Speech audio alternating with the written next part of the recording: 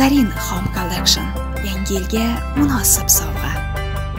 Emu Express pochtasi. Olib ketamiz, yetkazib beramiz. Steve Jobs kitobini Asahi Uzdan xarid qiling va xayriyaga hissa qo'shing.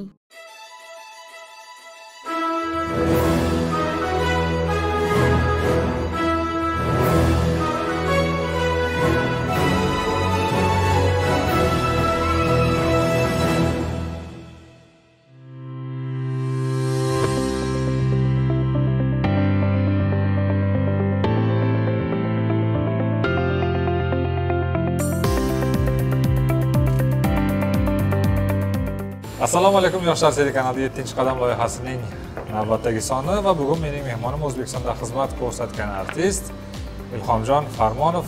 Xush kelibsiz qo'shni xushvaqt bo'linglar assalomu alaykum. Yaxshimisiz? charchamayapsizmi?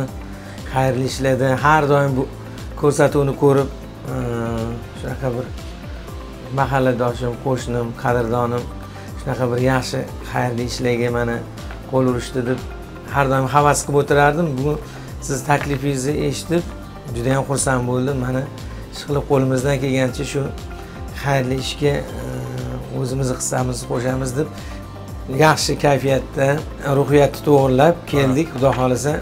Biz ilhom aka bilan bitta mahallada turamiz e, lekin e, ko'rsatuv ko'p ko'rsatuvlarda ishtirok etdilar lekin bugun bu ko'rsatuvdagisi bugunga nasib qilgan ekan. Demak ilhom aka ko'rsatuv haqida sizda taassurot bor. Tasavvur bor shunday bo'lsa ham baribir eslatib o'tishim kerak. Biz bu ko'rsatuvda e, oltita savolga javob topamiz siz bilan. Siz topasiz demayapman mana birga topamiz deyapman. Chunki biz qancha ko'p savolga javob topsak shuncha ko'p miqdorda xayriya qilamiz. Bir bemor oqqonga chalingan bolajonimizning sog'ligi sog'lom hayotga qaytish uchun dori darmoni uchun e, xayriya qilamiz. Har bir savolning to'g'ri javobi uchun besh yuz ming so'mdan pul yutug'ini qo'lga kiritamiz. Yig'ilgan summani olib borib ehson qilamiz. Bu bizning yettinchi qadamimiz bo'ladi. E, bu pullar qayerdan kelyapti? Kimni pullari? Bu albatta shu bizni ko'rib turgan sizni muxlislaringiz bizni doimiy ko'rsatuvimizni muxlislari e, saxovatpesha yurtdoshlarimiz. Chet elda ishlab faoliyat olib borayotgan internet orqali ko'rayotgan yurtdoshlarimiz ehson qilgan mablag'lar bular. Bizning o'sha ijtimoiy tarmoqlar orqali bu mablag'lar yig'iladi. Mana shu mablag'ni endi biz joyiga yetkazishga bir vosita bo'lamiz xolos. Va o'z navbatida homiylarimiz bor. Bular emo express pochtasi asahi books loyihasi zarin home collection tekstil mahsulotlari hamda oqmaza shirinliklari. Birinchi savolni o'qiyman. Juda yam oson savol. Begona nomni toping. A. Ilhom. B. Islom. C. Ibrohim. D. Tohir. Marhamat. Begona. begona ismmi? Begona ism topishingiz kerak marhamat ochib qarab. Nazarimda bu ko'rsatuvga tayyorlanishdan oldin qo'shni ozgina tayyorgarlik qilganga o'xshaysiz. Hamma ism bu yerda man uchun juda yam qadrli ismlar. Hammasi bizani oilamiz avlodimizda bor ismlar. Lekin nazarimda manimcha d javob bo'lsa kerak. Dni qabul qilay aniq a aniq ha o'zgartirmaysiz. Yo'q yo'q hozir eh deb qolmaysizmi? To'g'ri javobni aytsam? Nazarimda shunaqa nimaga manga bunaqa savol tuzdingiz o'zi aytyapsiz tayyorlanibsiz deb. O'sha tayyorlandimda to'g'ri to'g'ri lekin nima deydi ma'lumotlar to'g'ri kelgan ekan. Nazarimda d bo'lsa kerak manimcha. Tushunarli.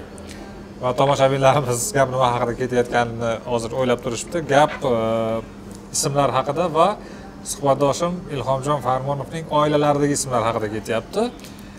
O'zlarining ismlari ilhomjon va islom ibrohim ismli ikki o'g'il ikki nafar o'g'illari bor. Tohir ismi esa bularning oilalarida yo'q. Qarindosh urug'ni ichida bor lekin o'zlarining oilalarida yo'q. Shuning uchun bu ism farqli. Islom ibrohim bilan men ham ikki nafar o'g'lim ular do'st birga gaplashishadi ko'rishishadi. O'zim ham ularni ko'rib turaman. Shuning uchun shundan kelib chiqib tuzilgan savol bu. Judayam qiziqarli samimiy savollar lekin rahmat. yaxshi. Rahmat.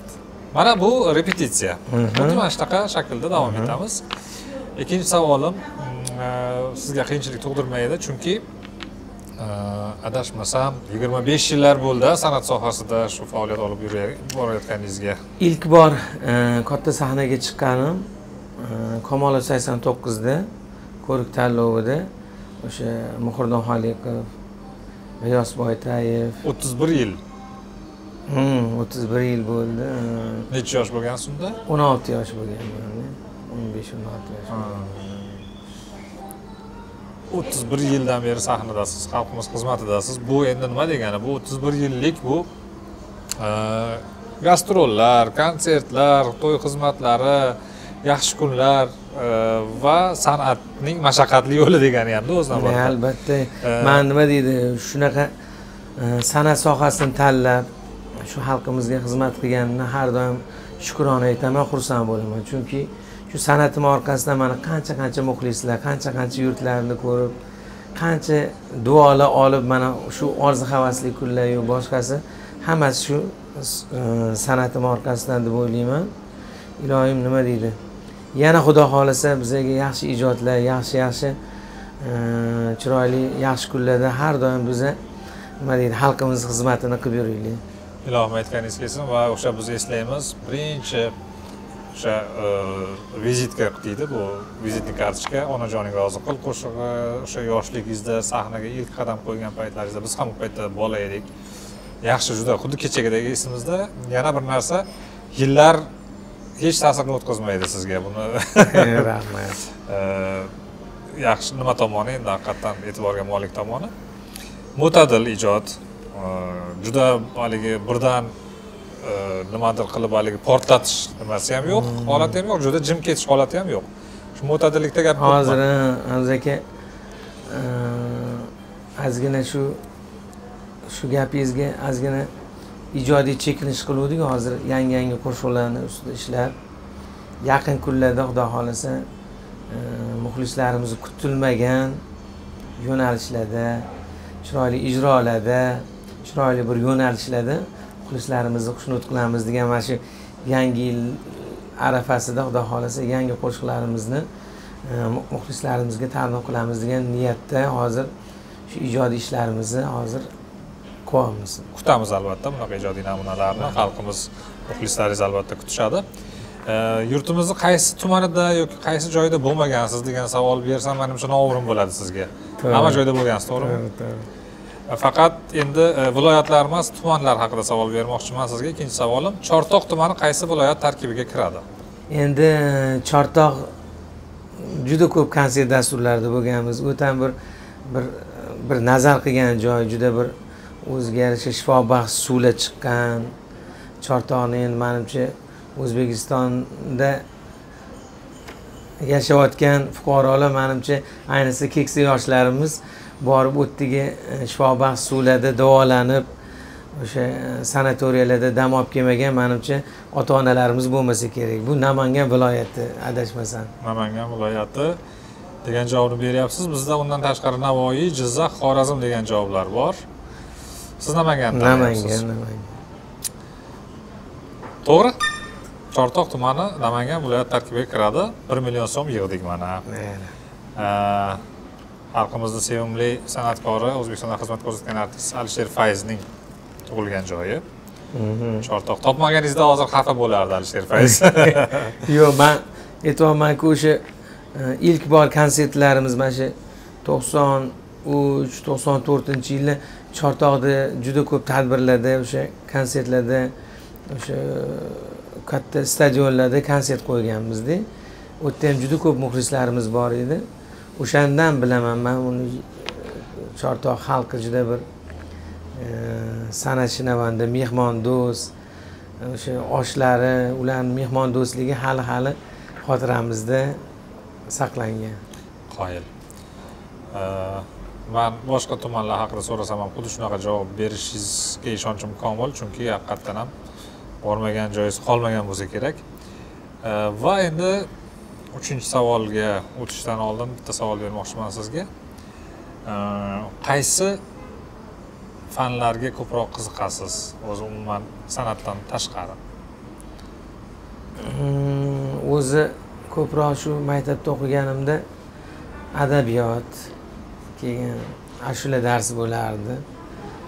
Mehnat darsi. Besh bo'lardi. Keyin qolgan darslarni ham harakat qilardimu o'qishga jam uncha qiziqmasdim to'g'risini o'zi ijodkorlar shunaqa o'zi haligi ijtimoiy fanlarni yaxshi o'qishadi aniq fanlar bilan unchalik yaxshi chiqisha olmaydi. Tabiiy holat shuning uchun ham ijodkor bo'ladida keyin u masalan agar aniq fanlarni bilsa olim bo'lishi mumkin muhandis bo'lishi mumkin. Men sizga hozir ana o'zbekiston haqida savol berdim. Endi o'zbekistondan chiqib kosmosga uchamiz. Oho. Uchinchi savol. Hmm. Buni eshitgansiz ko'p juda ko'p takrorlangan. Sobiq ittifoqda kosmosga birinchi bo'lib uchirilgan itlar qaysi bandda to'g'ri ko'rsatilgan ismi itlar? Itlar. Birinchi tajriba tariqasida itlar uchirilgan. O'sha itlarni ismi bor. A bilasiz buni hozir aytsam a deysiz. Dezik va sigan. B belka va strelka. C strelka va layka. D layka va sayka. Juda judayam qiziqarli kutilmagan savol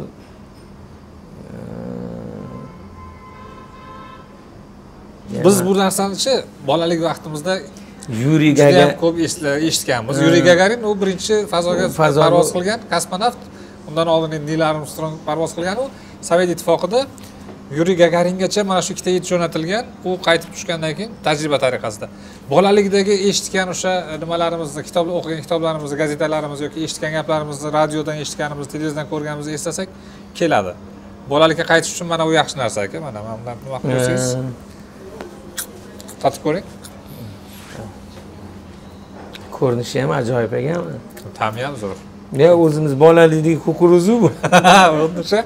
Qarang mana mana bu o'sha oq maza shirinliklari qarang zamonga qarab bizani paytimizda mana korobkalarda bo'lardi ha bir xil rangda bir xil rangda katta katta bo'lardi. Ta'mi lekin o'shanaqa ekan mana shu siz bolalikka qaytarib o'sha davrdagi xotiralarini uyg'otishi mumkin. Yaxshiku endi buyog'i tanish bilish qo'shnichilikdan chiqib ketdingiz sekin Yo'q, be- be- begona bu savol hech nima deydi. Tohir begona aka man begona emasman boyagi tohir begona. Hozir hayronman bu yerda endi. Mayli taxmin qilib ko'ring aka man yordam beraman agar man chalg'ib ketsangiz. Deylik. Taxminan aytaman endi man lekin buni qiziqib eshitib ko'rmaganmanku. Boya d variantini tanlovdim. Hozir bitta tepaga ko'tarilib b variantini tanlayman taxminan endi. Agar topolmagan bo'lsam man o'zim nima deydi? To'ldirasiz. To'ldiraman uni anaqasini bo'ldi. Belka va strelkani tanlayapsiz shunaqami? Ha foyda berdi. Mana shu kukuruz mana ko'rdingizmi aka belka va strelka edi bu itlarning e, laqabi. Ular to'g'ri topdimmi to'g'ri topdingiz. Bular kosmosga uchgan birinchi e, itlar sifatida tarixda qolgan ismlari tarixda qolgan. Shunda bizda qancha bo'ldi? Bir yarim million yig'ildi mana hozir. Birpasda e qarang. Odam yaxshi niyat qilib taxminiyani qilsa ham mana qarang. Niyati yaxshi bo'lsa xudo to'g'irlab qo'yaveradi endi adabiyotni yaxshi o'qiganman dedingiz hozir ona tilidan ham yaxshi o'qigansiz. Endi adabiyot bilan ona tili bir biriga bog'liq fanlar. Sizni man e, ijodkor sifatida o'zim uchun xulosa qilganim shuki judayam e, so'zga matnga she'rga injiqsiz. Haligi ko'nglingiz jizz etmasa qo'lingizga olgingiz kelmaydi shu narsani. Yoki ijro qilgingiz kelmaydi. Shuning uchun ham balkim o'sha e, qo'shiqlaringizni soni kamroqdir nisbatan lekin sifati baland judayam. Deylik o'sha laylo degan qo'shiq sinchalak degan qo'shiq bu sho'x bo'ladimi E, gulim degan e, qo'shig'ingiz bular so'zlarni man o'sha eshitganimda matni zo'r haqiqatdan ham. matnda matnda nimadir bor и o'zi e, ohangga tushib kelaveradi. Shunaqa chiroyli yozilgan matnlar. Shundan bilamanki so'zga nisbatan talabingiz kuchli. Albatta endi qo'shiqni avvalambor o'sha ma'nosi so'zlari yaxshi bo'lsa endi asosiy qo'shuvni ham negizi baribir she'r she'rga katta bir ahamiyatga ega bo'ladi. Shuning uchun ham biza harakat qilamiz she'rlarimizni o'sha e, ma'noli o'sha qofiyaga tushgan kerak bo'lsa o'sha ko'proq o'sha buyuk shoirlarimiz allomalarimiz ustozlarimizni e, she'rlaridan foydalanishga harakat qilamiz agar e, mumtoz adabiyotga ko'p murojaat qilgan bo'lsangiz bu savolni ham javobini topasiz. Va men talaffuzimdan ham topishingiz mumkin. Faqat diqqat qilib eshitasiz. Bunisida endi haligi siz haligi e, san'atkorlar tilida sluh juda ham muhim rol o'ynaydi. Qaysi javobda so'z to'g'ri yozilgan? A. Taassurot b. taassurot c tassurrot. D. Taassurot qaysi birini men hozir to'g'ri talaffuz qildim savolni o'zi tuzdingizmi ja bir ajoyib savollar. Hmm. bu yerda endi baribir nima deydi? Aytdimu adabiyotga qiziqamiz she'riyatga a variantini tanlayman. A variantini tanladingiz a taassurot ya'ni ikkita a ikkita c taassurot. Shu variantni tanlayapsiz tushunarli.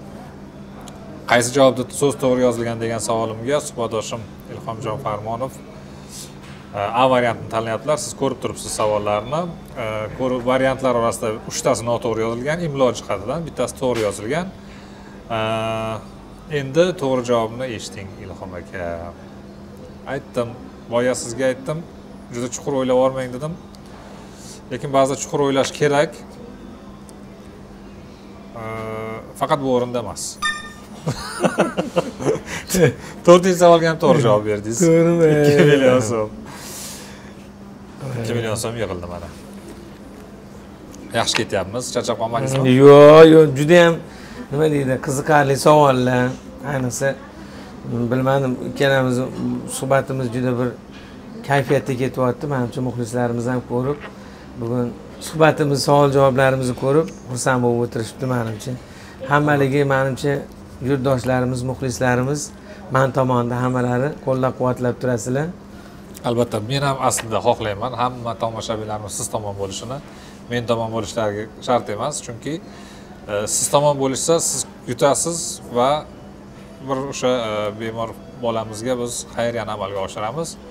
Hattoki men ham siz tomonman. Rahmat Bu loyihada. navbatdagi savol navbatdagi savolim e, sal jiddiyroq lekin juda oson savol. Payg'ambarimiz sollallohu alayhi vasallamni ko'rgan musulmonlar hurmat bilan qanday ataladi? A avliyo b sahoba c tobein d kubro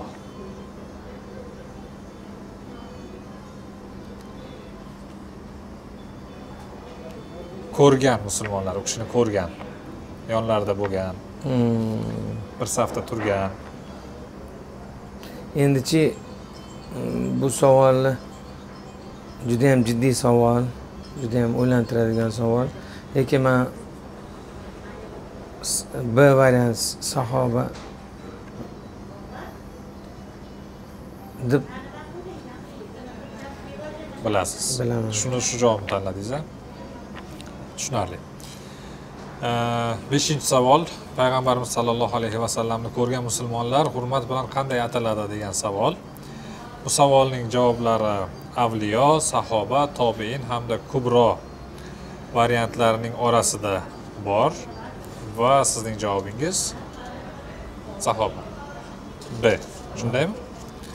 Umuman u paytlarda e, o'sha yashab o'tgan buyuk insonlarni turlicha hurmat bilan atashadi haqiqatdan ham valiylar avliyolar deyishadi.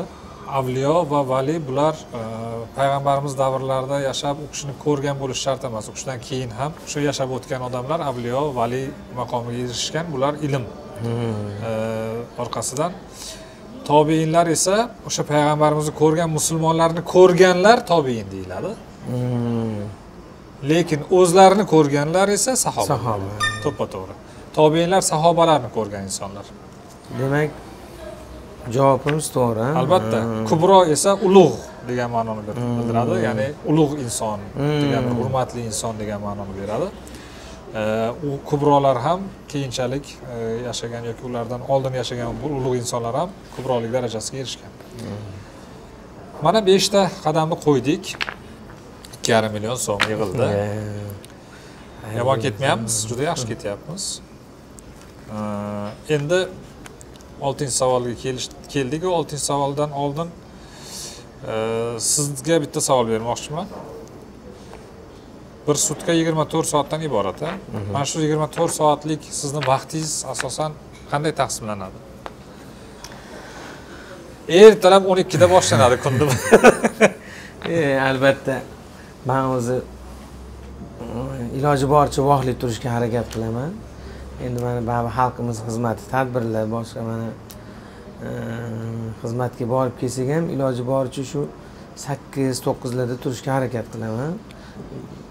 Hattoki o'sha ayrim paytlar olti yetti yoz paytlar bo'lsa olti yettilarda turaman. Lekin o'sha voqlik turishi ham o'ziga yarasha bir odamga bir kuch quvvat qolaversa ruhiyat baraka baraka. beradida. To'ppa to'g'ri shuning uchun ham man shu shu judayam tetik yotaman voqlik turib e, iloji boricha o'sha ozgina badan tarbiya qilib ozgina ijodiy ishlarimni qilib boshqalarni qilib keyin e, zaruriyat ishlar bo'lsa e, televideniyami boshqami ijodiy ishlarni ularni qilib umumiy ishlarni boshlaymiz agar vaqtim bo'lsa o'sha tushlik paytida ozgina bo'lsa ham ozgina mizg'ib dam olishga harakat qilaman. Agar endi viloyatlarda ko'p tadbirlarda yoki e, unaqa imkoniyat bo'lmasa lekin e, kechgacha shu nima deydi ishlarimizni bitirib anaqa e, yuramiz bir viloyatda bo'lamiz bir shaharda bir lekin harakat qilaman ertalab tongdan voqlik turishga. Albatta bu juda ham muhim kunni to'g'ri taqsimlash. O'zimga ham odat bo'lib qolgan shundan asosiy muvaffaqiyatni kalitlaridan bittasi shu. Odamni kunini o'sha grafikini to'g'ri taqsimlay olishi uning muvaffaqiyatining ta'minlaydigan omillardan biri. Oxirgi savolim oltinchi savol. Shunga yaqin bir sutka davomida soatning daqiqa va soat strelkalari necha marotaba kesishadi? A yigirma ikki marta b yigirma uch marta c yigirma to'rt marta d yigirma besh marta mana qo'limizda soat. Ha. Ha soat soatni soat strelkasi bor daqiqa strelkasi bor. Mana shular bir biriga qachon ne- nechi marta? Marta bir birini ustidan o'tadi. Ustidan bir biriga tegadi. Kesishadi ya'ni. Judayam oson savol. Nahotki? C varianti manimcha yigirma to'rt marta bo'lsa kerak yigirma to'rt martami yigirma to'rt soat bo'ladiyu endi. Yo'q yigirma to'rt soat sutkada bor lekin yigirma to'rt soatda soat va daqiqa yuradi. Endi yurganda mana shu daqiqa soatni ustidan o'tib ketadi. Qaysidir soatlarda qaysidir soatlarda o'tmaydi. Tegmaydi Ustidan. bir soat davomida ustidan o'tmaydi. Bir soat davomida? Ha ya'ni o'sha to soat shu joyga qaytib kelguncha o'tmaydi bir birini ustidan. O'sha o'sha soatlarni ajratib tashlasak javob chiqadi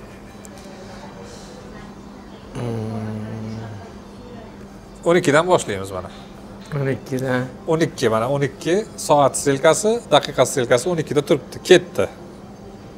Aylanib bu aylanyapti bu birga kelyapti bu yana o'n ikkiga kelyapti tegdimi? Mundoq qarasangiz savol bir osondiyu lekin tuyuladi. hozir aytganingizdek e, ha- e, haqiqatdan o'n ikkidan boshlansa ustidan o'tilmaydi boshqa qilinmaydi hozir man endi tushundim bu yerda bir marta o'tmaganda keyin yetib boradi yigirma ikki marta bo'ladi o'shanda.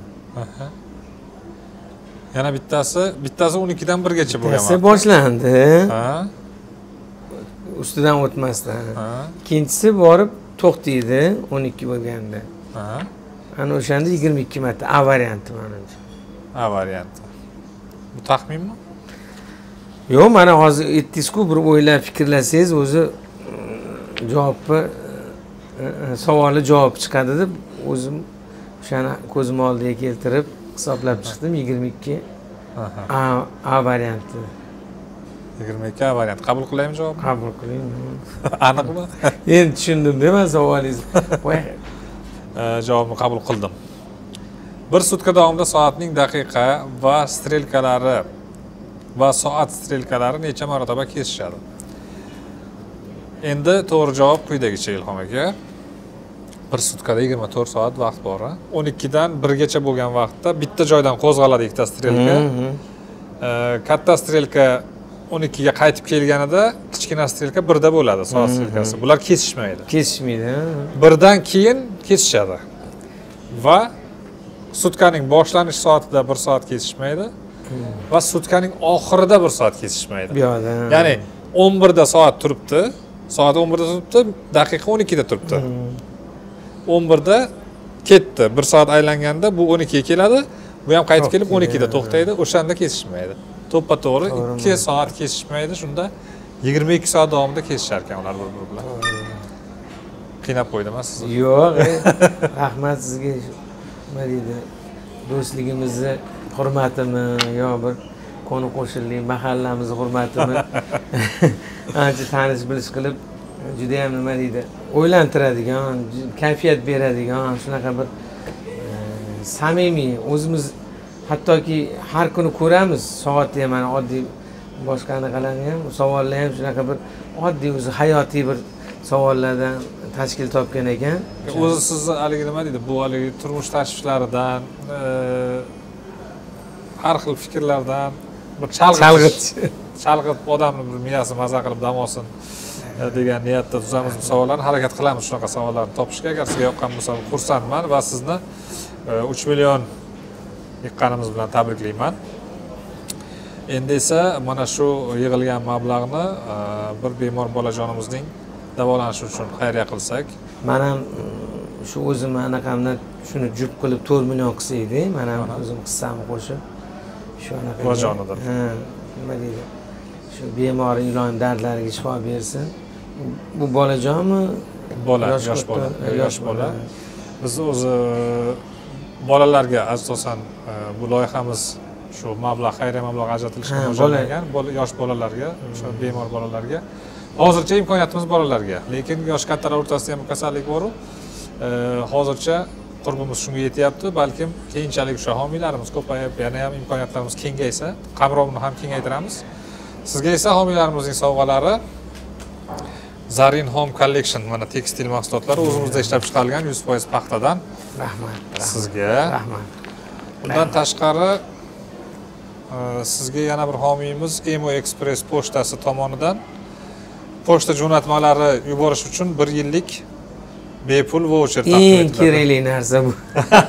Bilamanda eng kerakli narsa menimcha siz haligi e, ajoyib. Mana shuni ko'rib juda yam kerakli narsa bizaga endi u yoqqa olib boriladi bu yoqqa olib boriladi ko'p bunaqa anaqalarimiz ko'p bo'ladida bizani yaxshi xudo xohlasa. Yaqinlaringiz qarindoshlar boshqa viloyatlardagi o'sha yaqinlaringizga qanaqadir bayramlarda sovg'a mana yangi yil sovg'alar jo'natmoqchi bu bo'lsangiz. butun viloyat bo'yicha bu o'zbekiston bo'yicha va dunyo bo'yicha istalgan joyda. Mana qo'ng'iroq qilasiz kelishadi sizdan qabul qilib olishadi va mana shu vaucherni ko'rsatasiz bepul bir yil davomida olib borib topshirishadi. Aytgan manzilingizga. Juda yam ajoyib sovg'a bo'ldi bu. Rahmat.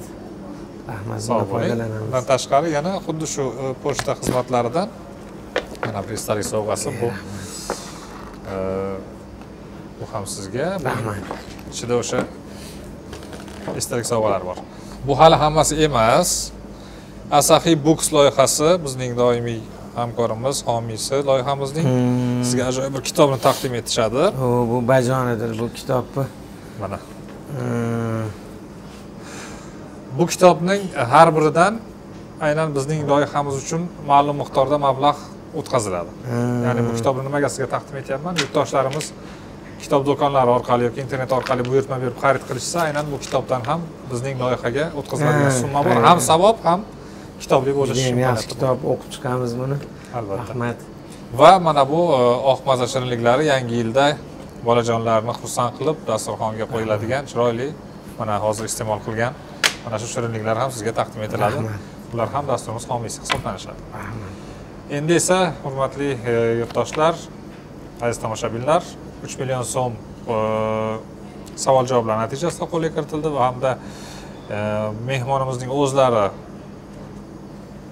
hissalarini qo'shgan mablag'ni ya'ni to'rt million so'mni olib biz yo'lga tushamiz bemor bolajonimizga rahmat. Man mana shu fursatdan foydalanib avvalambor sizga mana shu chiroyli bugun suhbatlarimiz mana juda bir samimiy savol javoblarimiz bo'ldi.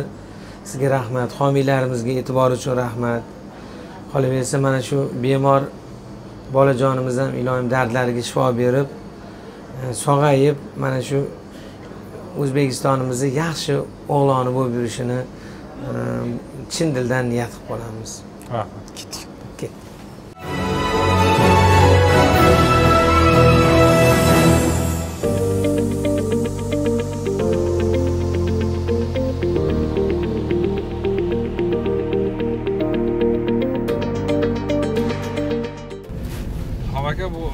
kattasi endi san'at yo'lini tanladi ko'rdik kichkinasi nima bo'lyapti kichkinasini hozir e, kichkina ibrohimjon judayam o'qishga ishtiyoqi baland E, hozirgi kunda e, o'sha qo'shimcha yana darsliklarga borib e, yaxshi o'sha e, ingliz tili bo'yicha matematika bo'yicha yana ham bilimini oshirib e, shu harakatda xudo xohlasa bu yil mana shu vestminster o, o'qishiga kirib o'sha yerda e, yana ilmini oshirish niyatida hozir ishtiyoq bilan e, shu o'qiyapti. O'zi ham san'atga qiziqadi yaxshi ovozi bor. Eshitgansiz shunday aytganini ibrohim? Ibrohimni eshitmaganman. Islomni eshitganman. Endi hozir unda ham mutatsiya vaqti bo'lganligi tufayli hozir qo'shiq ijro etmayapti. Faqat ilm o'qish bilan hozirgi paytda shu bir bir bolani ovozi kelib qoladi tashqaridan. Balkim o'sha ibrohim bo'lishi mumkin. o'tirganda kechki paytda yetib qoladi o'zi anaqa qilib yaxshi ish qilib. Sog' bo'lasiz hozirgi kunda mana har bir sohada mana juda katta rivojlanish juda bir katta bir yutuqlar imkoniyatlar bu hammasidan unumli foydalanish kerak. Qolaversa bir e, so'rasam kim bo'lasan desam san'atkor bo'laman deydi. Bir so'rasam tadbirkor bo'laman deydi. Bir endi qarasa katta bir imkoniyatlar katta bir sharoitlar o'shandan nima deydi bir biridan anaqa qiladiki ham o'zim uchun ham e, shu ota kasb san'atda qo'shiq ijro etaman lekin tadbirkorlikni e, xudo xohlasa yaxshi e, shu tadbirkorlik sohasida yaxshi bir cho'qqilarga chiqib yaxshi inson bo'laman deb niyat qiladi. Unda bor manimcha shu qobiliyat bor unda chunki ko'chada o'sha aylanib yurgan paytlarida shunaqa akasidan ko'ra hushyorroqda akasi endi haqiqiy muomalali ha u bo'lsin. boshqacha uni anaqa qilmaydi Ha. ibrohim. Ha, san'atkor. Bu ko'rsatuv ancha yildan beri necha yil bo'ldi hozir boshlanganiga fevral oyida ikki yil bo'ladi. Ikki yil ha qarang qancha muxlislar qancha odamlar уже ko'rib mana nima deydi. Ha juda qisqa muddatku ikki yil lekin mm, man o'zi aslida ilhom aka to'g'risi e, shu ko'rsatuv to'xtashni xohlayman. Nega? Chunki kasal bolalar to'xtasa to'xtaydida. Ha, to'g'ri, bolalar kasal bo'lmasa bunaqa ko'rsatuvlar bo'lmaydi boshqa narsalarga yo'naltirardik. Masalan o'sha mayli xayriya ko'rsatuvi qilardiku boshqa. Masalan bir yaxshi oilani farzandi e, o'qishga kirganda kontrakt to'lashga imkoniyati yo'q. O'zi yaxshi masalan Hmm. bilimli bola. Shuni kontraktini to'lash niyatimiz Hmm. masalan qanday imkoniyatimiz bo'lsa. To'g'ri aytasiz haqiqatdan ham shu iqtidorli e, yaxshi o'qishga e, qiziqishi bor yaxshi fa- farzandlarimizni o'sha iloji boricha shu ilmga yo'naltirib imkoniyat yaratib berishimiz kerakda. Shunaqa. Iloyim mana shu kasalliklar iloyim kamayib hammasini dardlariga shifo berib nima deydi shunaqa yo'nalishlarni o'zgartirish xudo xohlasa bo'lsin. Bu nechinchi son hozir? Ikki yilda nechta son hozir ko'rsatuv ikki elliginchi soni. Elliginchi o hozir ko'rasiz o'sha dorixonadan devori to'lgan. Ikki yilda ellikta son chiqdimi? Ha, har ikki haftaga bitta to'lib kelyapti. Aslida mana bu e, pandemiya bo'lmaganda karantin payti bo'lmaganda ko'p e, ko'proq ko'rsatuv qilardik lekin o'sha paytda ham saxovat pesha odamlarimiz insonlarimiz e, yordam qilishdi olib kelib Hmm. topshirdiku ularni tasvirga olmadik. Mhm. chunki imkoniyat yo'q edi karantinda edi nimalar kasalxonalar qolaversa bizani o'sha ishxonalarimiz yopildi. Ko'chaga chiqish taqiqlab qo'yildiyu o'sha paytlarda ham ehson qilindiyu lekin tasvirga olinmadi. Chet ellarda qo'llab quvvatlaydigan o'sha e, bizadan chetga borib ishlaydigan yigitlar qo'llab quvvatlab turishadi internet orqali ko'rib. Mana yetib keldik ilhom aka hozir. Vrachimizdan nima olamiz? O'sha tavsiya beradilar shu bolamizni bemorligi haqida muhtojligi haqida Hmm. haqiqatdan ham ta- tasdiqlaganlaridan keyin dorixonaga kelib o'sha topshiramiz o'sha mablag'ni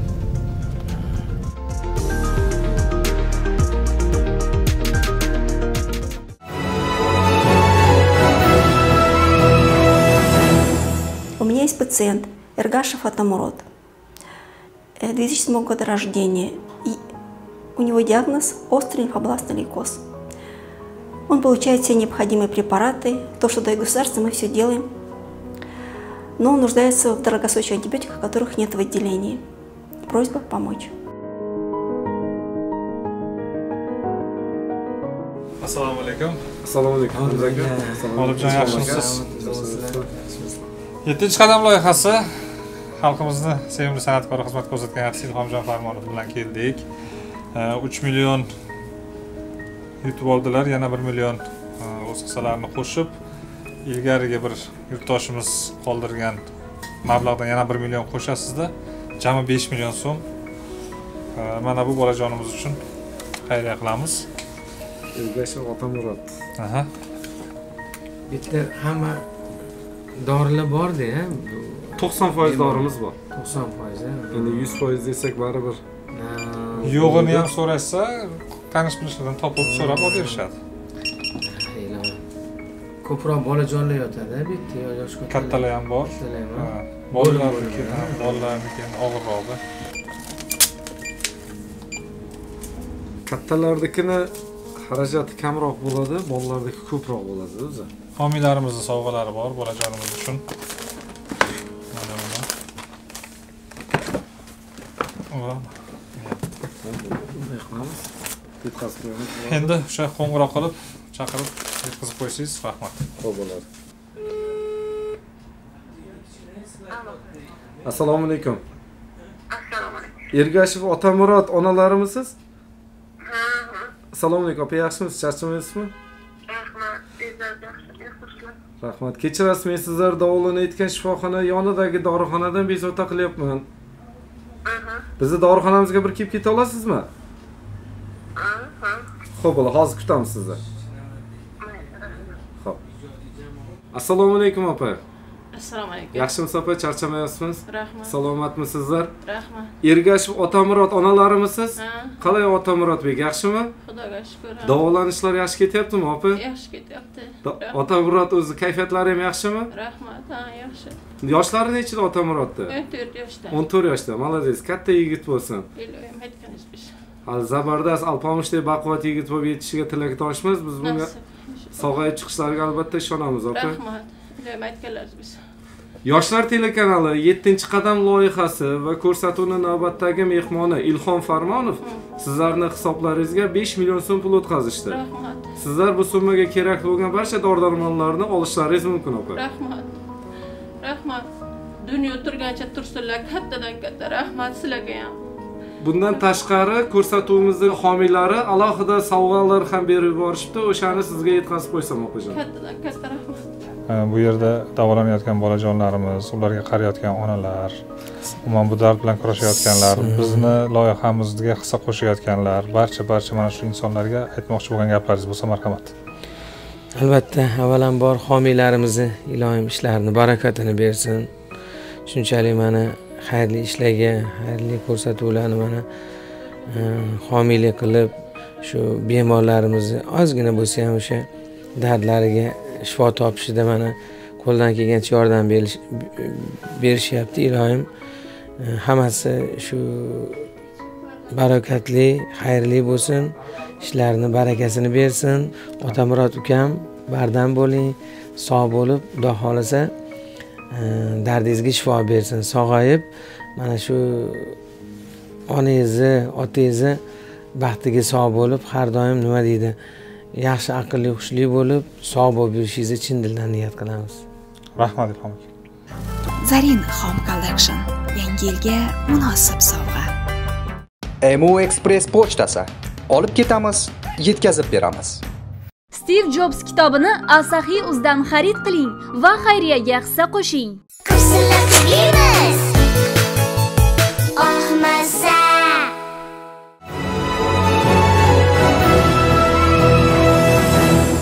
aziz do'stlar 7 qadam loyihasi bugun yana bir bemor bolajonimizning sog'lom hayotga qaytishi uchun o'z xayriyasini amalga oshirdi. 5 million so'mlik xayriya ishini siz azizlarning yordamlaringiz bilan qolaversa homiylarimizning ko'magi bilan amalga oshirdik. Va ularni yana bir bor e, tilga olishim joiz deb bilaman. Bizning loyihamiz homiylari Emo Express pochtasi, Zarin Home Collection tekstil mahsulotlari, oqmaza shirinliklari hamda asaxiy Books loyihasi. Э, bir narsani niyat qilishni xohlardim ilhomjon aka. Mana tugayotgan yilimiz e, shunaqa bir chiroyli yil bo'lsinki e, yangi yilni barcha bolajonlarimiz kasalxonalarda emas onalari bag'rida otalari bag'rida oilalarida do'stlari bilan qorbo'ron o'ynab qiyqirib archa atrofida qo'shiq aytib o'ynab raqslarga tushib kutib olishsin. Bolajonlarimiz kasal bo'lishmasin. Yettinchi qadam bu sizning loyihangiz. Barchangizga e'tibor uchun rahmat. Sizga esa tashrif uchun minnatdorchilik bildiramiz. Sog' bo'ling